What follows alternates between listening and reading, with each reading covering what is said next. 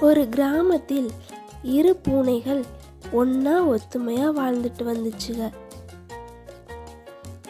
அதுக ரெண்டும் ஒன்றா ஒற்றுமையா உணவு தேடி சாப்பிட்டு வரும். ஒரு நாள் அந்த பூனைகளுக்கு சாப்பிட எதுவுமே கிடைக்கல. ரொம்ப நேரம் உணவு தேடியும் ஒரு உணவும் அதுகளுக்கு கிடைக்கல. கொஞ்ச நேரம் கழிச்சு ஒரு ரொட்டி துண்டு அது கண்ணில் பட்டுச்சு. அடடடே ஒரு ரொட்டி துண்டு தான் இருக்கு. இதை எப்படி நம்ம பங்கு பிரிக்கிறது? ரொம்ப பசியில் இருந்த ரெண்டு பூனைகளும் அந்த ரொட்டியில் பெரிய பங்கை நாம் வச்சுக்கணும்னு பார்த்துச்சுங்க நண்பா நான் நேற்றிலிருந்து சாப்பிடல உனக்கு தெரியும்ல? ரொட்டி துண்டுல நான் கொஞ்சம் அதிகமா பிச்சுக்கிறேன். என்ன நீ அதிகமா பிச்சுக்கிறியா? அது எப்படி? எனக்கு பசிக்கும்ல. ரெண்டு பேரும் சரிசமமாவே பிரிச்சுக்கலாம். ரெண்டு பூனைகளுக்கும் இடையில சண்டை வந்துடுச்சு அதுக்கப்புறமா ஒரு முடிவு பண்ணாங்க.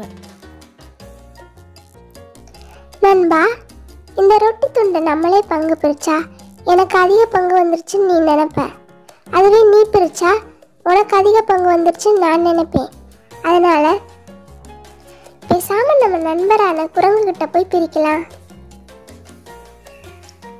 ம் சரியான யோசனை சொல்லியிருக்க. வா போலாம். தங்களுக்கு தெரிஞ்ச ஒரு புத்திசாலி குரங்குகிட்ட போய் தங்களோட பிரச்சனையை தீர்த்துக்கணும்னு நினச்சாங்க. குரங்கிட்ட வந்து தங்களோட பிரச்சனை என்னன்னு சொன்னாங்க. குரங்காரே நாங்கள் இருவர் இருக்கிறோம். ஆனால் எங்ககிட்ட ஒரு ரொட்டி துண்டு தான் இருக்கு. எங்களுக்கு சரிசமமா நீங்களே பிரிச்சு கொடுங்க. பசியில் இருந்த குரங்குக்கு அதிர்ஷ்டம் அடித்த மாதிரி இருந்துச்சு.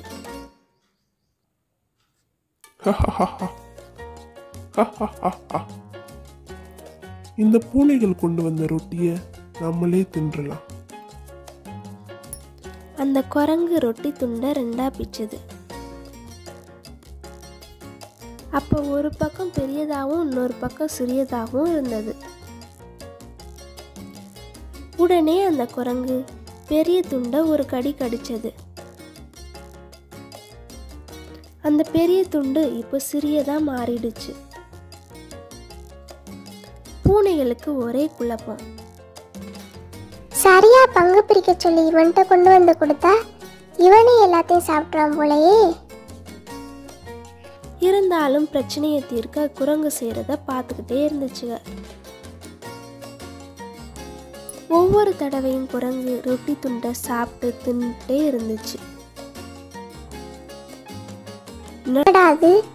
போற போக்க பார்த்தா நமக்கு எதுவுமே கிடைக்காது போல. குரங்காரை நிறுத்துங்க. நீங்க பங்கு பிரிச்சதெல்லாம் போதும். மிச்சம் இருக்கிற ரொட்டி துண்டையாச்சும் எங்களுக்கு கொடுங்க. நாங்க பாத்துக்கிறோம். அப்படின்னு சொல்லிச்சுங்க. அடடடடா. உங்களுக்கு பங்கு பிரிக்கிற வேலையில என் வேலையை நான் மறந்துட்டேன். அதனால மிச்சம் இருக்கிற இந்த ரொட்டி துண்டை நான் கூலியா எடுத்துக்கிறேன். அப்படின்னு சொல்லி மிச்சம் இருக்கிற ரொட்டி துண்டையும் குரங்கு சாப்பிட்டுருச்சு. அந்த பூனைகள் ரெண்டும் வருத்தத்தோட நண்பனோட போட்டி போட்டு ரொட்டி துண்டை அடுத்தையும் சாப்பிட விட்டுட்டோமே. அப்படின்னு வருத்தத்தோட போச்சுங்க. இக்கதையினால் அறியப்படும் நீதி என்னவென்றால் நம்மிடம் இருப்பதை மற்றவர்களோடு பகிர்ந்து கொள்ளுதல் வேண்டும்.